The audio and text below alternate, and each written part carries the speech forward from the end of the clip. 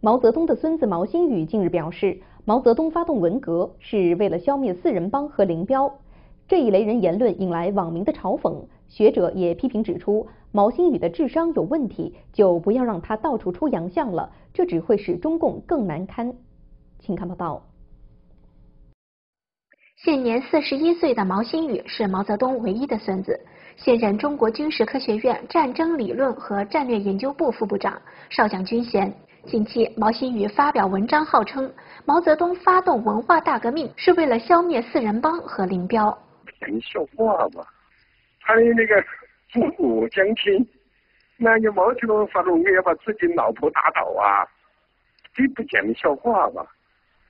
资料显示，一九六六年毛泽东发动文化大革命时，作为四人帮成员之一的王洪文，当时只是上海第十七棉纺织厂保卫科的干事。张春桥则是上海市委书记处书记，而姚文元也只是解放日报的编委，很难想象毛泽东为了消灭他们而发动文革。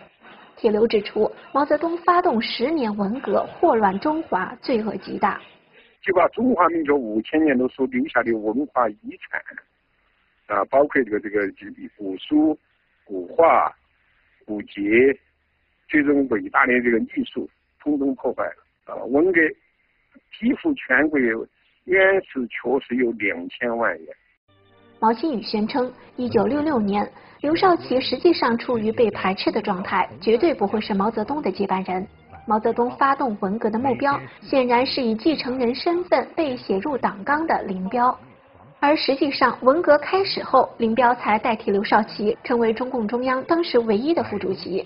直到一九六九年，他才被确认为毛泽东的接班人。七千人大会上已经反映出这个问题了，是对这个大跃进怎么看？毛泽东认为是七分天灾三分人祸，林少奇认为这个三分天灾七分人祸，潜台词就是毛泽东要负责任，那毛泽东受不了啊。毛新宇一九八八年进入中国人民大学历史系，毕业后在中央党校攻读研究生，现在中国军事科学院工作。去年，毛新宇被授予少将军衔，成为目前解放军中最年轻的少将。网民开玩笑说，毛新宇说话总是不理我爷爷，而他效仿毛泽东到处题词，更是经常被围观取笑。顾晓军在《毛新宇没有错，人傻有错吗》的文章中写道。毛新宇没有错，这是体制的错。一个孩子给他把木头枪玩就可以了，为啥要让他玩少将呢？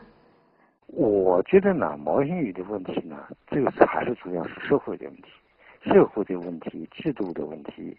他这个智力可能不够吧，不够就不要让他到处出洋相，这样说这你这个党自己也难看嘛。在此之前，毛新宇被聘请为广州大学松田学院的客座教授，作为兼职班主任给学生开会，要求学生学习毛泽东思想，就曾经遭来各界的一片质疑。网友评论说：“也不怕丑，经常出来丢人现眼。”还有网民指出：“天报应，毛家该丢这个人。”新唐人记者常春、李谦、朱棣采访报道。